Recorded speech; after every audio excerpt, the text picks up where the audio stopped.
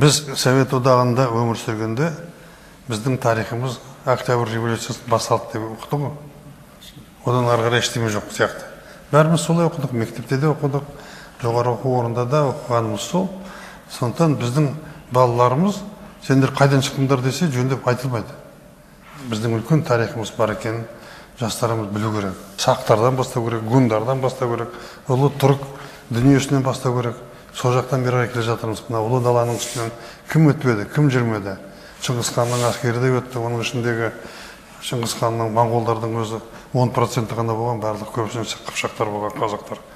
Басқа біздің қазақтың рулары мына жақтағы. Сондықтан соның барлығына білсін деп мен жаздым оны.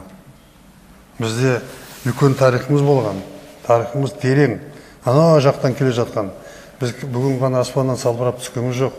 Біз үлкен үлкен тайпалардың халықтардың үлкен империялардың қалған солардың ұрпағымыз деп жастарымыз айтып жүрсін деп айттым. Оның ішіндегі жаңағы келтірген мәселелер атты үйреткеніміз жөнге болғаны. Мысалы ә, неге барсаң? Римда. Александр македонскийдің үзеңгісі жоқ көрдің бе? Жайда қалай отырады олар білмеймін. Атқа міндік бар бізде. Үзеңгі жоқ. Аяғын үзеңге тіреген кезде үстінде отырған әскердің күші үш есе артады. Бірдемеге тіреу керек қой. Соның барлығын бізден шыққанын білсін деп металлургияның бізде болғанын білсін деп жаңағындай жаңалықтардың болғанын білсін деп бізді дүниеге бүкіл әлемге сондай ғылымға да білімге де мәдениетке де өзіміздің үлесіміз бар халық екенін көрсету үшін мен жаздым. Меніңше ә, жастарға керек деп ойлаймын. Осы арқылы біз нағыз тарихымызды өзімізді айтып біз осындаймыз деп айтып жүруіміз керек. Барлығы айтып отыр ғой біреулер анан шықтық мынан шықтық деп күні жазып жатқандар бар ағайындар бәрін.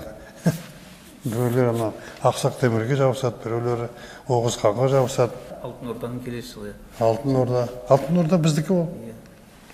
Біздікі куда денешься сондықтан меніңше халыққа ұнады ғой деп санаймын. Жастар үйреніп соны біздің тарихымыздың ұлы екенін біліп айтып жүрсе дұрыс болар еді.